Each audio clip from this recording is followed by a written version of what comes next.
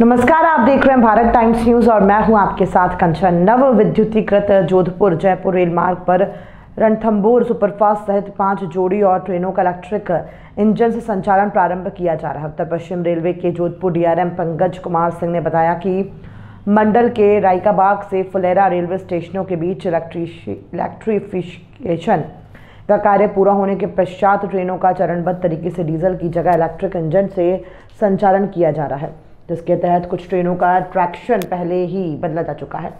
उन्होंने बताया कि इलेक्ट्रिक लोकोमोटिव की उपलब्धता के अनुसार पाँच जोड़ी और ट्रेनों का प्रारंभ से अंतिम स्टेशनों तक डीजल की जगह इलेक्ट्रिक इंजन से संचालन प्रारंभ किया जा रहा है। इन ट्रेनों का अब तक सवाई माधोपुर में इंजन बदला जा रहा था। डीआरएम ने बताया कि अब जोधपुर से जयपुर के रास्ते चलने वाली ट्रेन जोधपुर, मन्नार, मन्नारगुड़ी सुपरफास्ट साप्ताहिक सात नवंबर भगत की कोठी इंदौर रणथंभौर सुपरफास्ट 9 नवंबर, जोधपुर विशाखापट्टनम एक्सप्रेस साप्ताहिक 9 नवंबर से।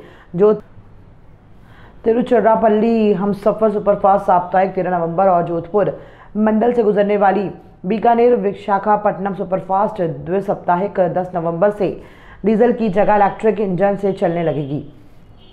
इन ट्रेनों का वर्तमान में आवागमन में सवाई माधोपुर स्टेशन पर डीजल इंजन बदला जा रहा था, लेकिन अब प्रारंभ से अंत तक इलेक्ट्रिक इंजन से संचालन होने से इंजन बदलने में लगने वाले समय की बचत होगी और ट्रेनों का संचालन अधिक सुगम होगा।